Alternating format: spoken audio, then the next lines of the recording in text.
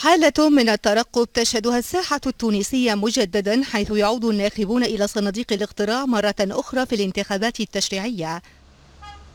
يجرى الاقتراع بمشاركة أكثر من 1500 قائمة في مجمل الدوائر الانتخابية البالغ عددها 33 دائرة للتنافس على 217 مقعدا في البرلمان حيث سيوكل للحزب الفائز بالأغلبية تشكيل الحكومة وتعيين رئيسها. ومن بين الدوائر الانتخابية الداخلية تحظى دائرة تونس واحد بأهمية خاصة حيث تحتدم فيها المنافسة بين المرشحين وينظر إلى تلك الدائرة على أنها الخزان الانتخابي لحركة النهضة.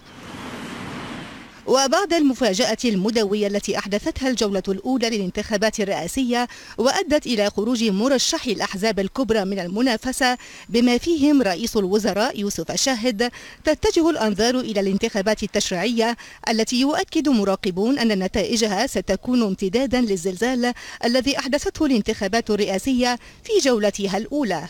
وتشير استطلاعات للرأي إلى تصدر حزب قلب تونس الذي يرأسه نبيل القروي قائمة الأحزاب المتنافسة. إذ يشير أحد الاستطلاعات إلى أن 21% من الناخبين سيصوتون لصالح حزب القروي الذي يوصف بالشعبوية. تاليه حركة النهضة في المركز الثاني في المئة ثم الحزب الحر الدستوري بثمانية بالمئة وهو حزب تترأسه عبير موسي.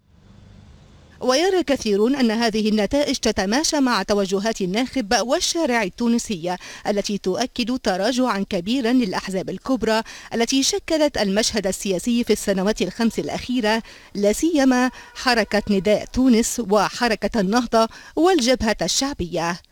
توجهات دفعت الأحزاب التقليدية للبحث عن تحالفات تمكنها من تكوين جبهة سياسية ذات ثقل وفاعلية في البرلمان المقبل علها تفلح في اجتذاب أصوات الناخبين.